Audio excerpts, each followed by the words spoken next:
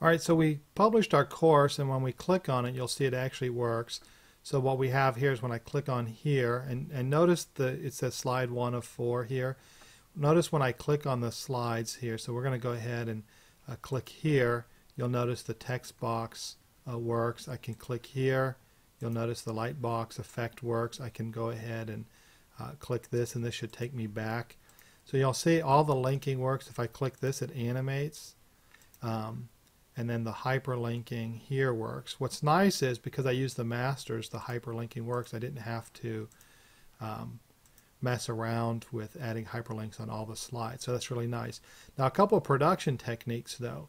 So one is you'll, you'll notice if I go back to one, I'm on slide one. When I play it, you'll see slide one's going to play and then it's going to auto advance to slide two and then it's going to auto advance to slide three. So uh, what I have to do is I need to make sure I go in and uh, change the way the slides advance. Another thing is um, right now I have it no sidebar view, but if I change that and I have it in sidebar view, uh, you'll notice all of these slides show up. Now I don't want the learner to know that there's a bunch of slides. I really just want them to know there's one slide. So we're going to go ahead and change that as well. So we've got everything working right, and then we're going to go back and change some some things, and I'll show you a few uh, production techniques uh, to, to make it work better and, and, be more efficient when you're working in PowerPoint.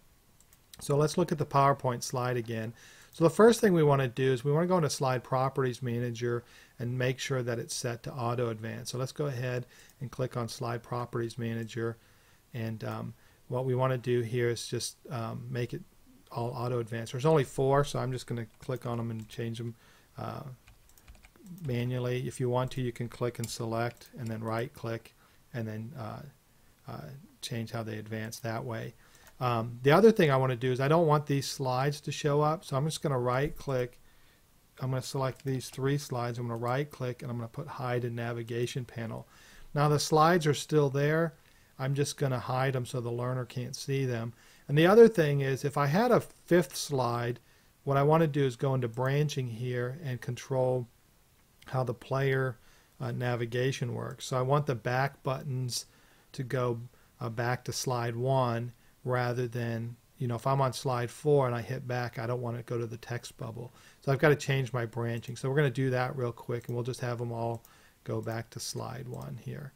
Um, and that's pretty simple to do. And then if I had, um, if I had other slides, and I would do the same thing for the forward buttons as well. So let's go ahead and change the forward buttons to go uh, to slide one as well because we don't uh, really want them uh, to go. The other thing I could do is if I wanted to lock them on the navigation, I can go ahead and use the lock feature here so they can only use the linking within the slide. Uh, but we'll just go ahead and set it up. Now if I had another slide under here, I would just have them jump over that using the branching feature. So we've got that set. And then a couple of just production ideas. So if we go back to the slide master and let's go ahead and look at our hyperlinking. So I've got these hyperlinked, oops, wrong slide master here. I've got these hyperlinked boxes. And what I might want to do is um, go into the home button, into the select pane, and then I could actually title those boxes. So I could call those, like this could be um, link cup, and this could be link um, Joe or whatever his name would be. And, and then that just makes it easier to, for me to know where the links are, and I can turn those off and on uh, in the course. So um, basically, it's build out the hyperlinking and then uh, set up the navigation controls and all of that. And we'll go ahead and publish it and take a look and see uh, how that's changed in the course. So um, I'm going to close out the slide master and we'll just go to articulate and we're going to publish it.